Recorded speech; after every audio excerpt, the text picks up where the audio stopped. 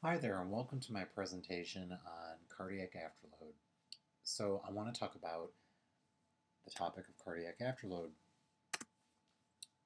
So, what is cardiac afterload? So, basically, it's the work required by the heart to move blood into systemic circulation. And you can actually replace the word heart with left ventricle. It could be even more specific and say the left ventricle is responsible for this. Afterload is comprised of three main elements. The first being ejection, but also pressure and resistance. Let's go back to ejection. So we know the left ventricle ejects blood into systemic circulation. But how does pressure play a role in all this? So in order to pump blood effectively, the heart has to match the pressure being exerted by the body's network of arteries, capillaries, and veins. Otherwise, blood stays in the heart. Resistance.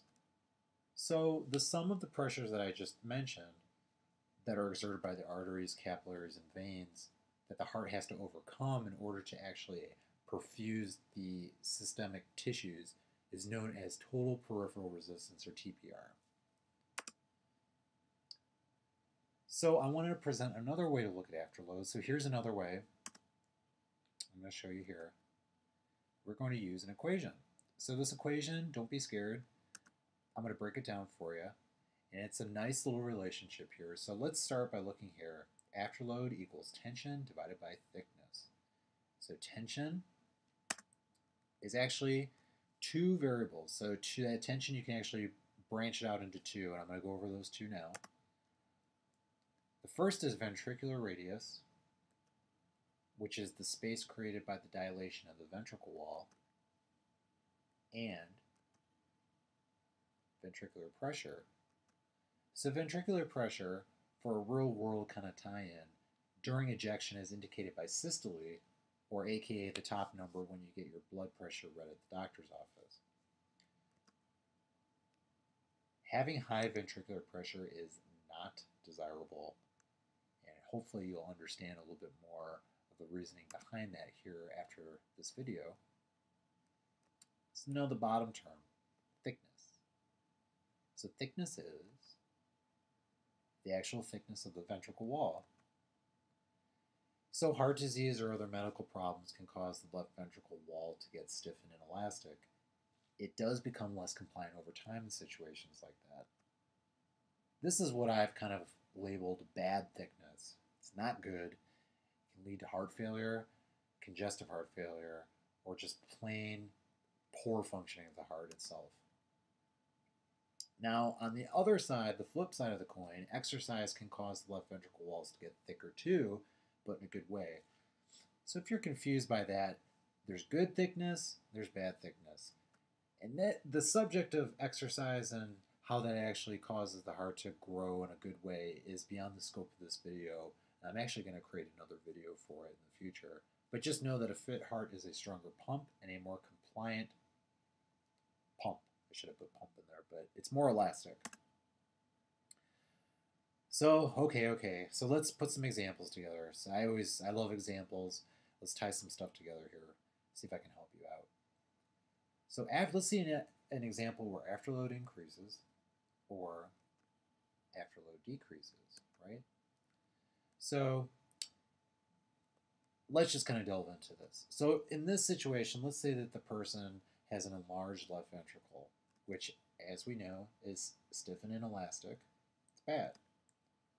Let's also say that they have a larger radius, okay? a, a, radius or the space between the ventricle walls inside the left ventricle. And so sometimes in disease states, blood will stay in the left ventricle, even though the heart tries to push blood out. This forces the heart to hold more blood when it shouldn't. Thus, the space between the walls of the ventricle, the radius, increase because blood pools. So, one of the reasons why that might happen is because of increased pressure demands clogged arteries. Oh, excuse me, let me go back. I didn't read the rest of this. So clogged arteries will narrow the highways where blood travels, causing the heart to push harder, so it keeps trying and trying and trying to push blood where it wants to go. to get blood through, but it can't. So sometimes blood will actually back up into the heart. Not good. So let me break this down here for you.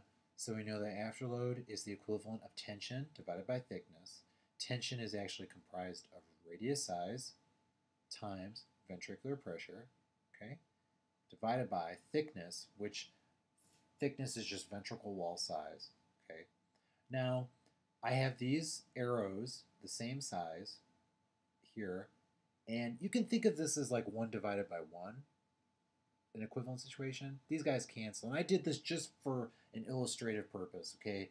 It doesn't really happen like that, but it makes it easier to kind of understand. So what are we left with? So in this situation, I kind of came up with someone who had maybe really bad or really clogged arteries, and um, they have a very high ventricular pressure uh, variable. So that's why I, I indicated that the arrow is really big. So what's left over is an overall increase because a bigger arrow or a large number divided by a smaller number is always going to be big. Um, so afterload in this case increases.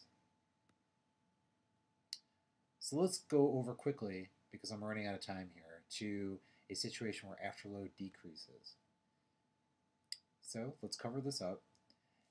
An enlarged left ventricle from cardiac remodeling from exercise. So this person is an exerciser.